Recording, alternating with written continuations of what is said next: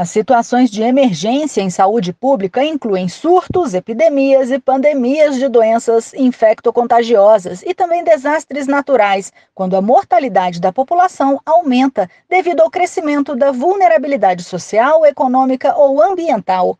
Para o autor da proposta, senador Dário Berger, do MDB de Santa Catarina, é necessário definir mais claramente as regras de participação da saúde suplementar para essas situações de crise sanitária. Ele destaca que a atualização das normas legais tem o objetivo de ajudar no controle da pandemia. Eu quero expressar a minha preocupação com o atual cenário que nós estamos vivendo. Trata-se de uma crise sem precedente da nossa história. O momento é de união união do executivo, do legislativo, do judiciário. Só a força da nossa união, dos três poderes juntos, será capaz de vencer essa grave doença que nós estamos enfrentando. E o senador Romário do Podemos do Rio de Janeiro defende todos os esforços pelo combate ao surto do coronavírus. O compromisso desse parlamento tem que trabalhar sempre em favor da minoria. Os trágicos efeitos da pandemia, sejam eles de natureza sanitária, econômica ou social. Sou autor de diversos projetos relacionados a esse enfrentamento e essa é a minha, a nossa agenda desse momento e na qual devemos concentrar todos os esforços. Dados da Agência Nacional de Saúde Suplementar de junho desse ano revelam que o Brasil conta com quase 50 milhões de beneficiários de planos de saúde privados, o que faz do país um dos maiores do mundo no setor de seguros.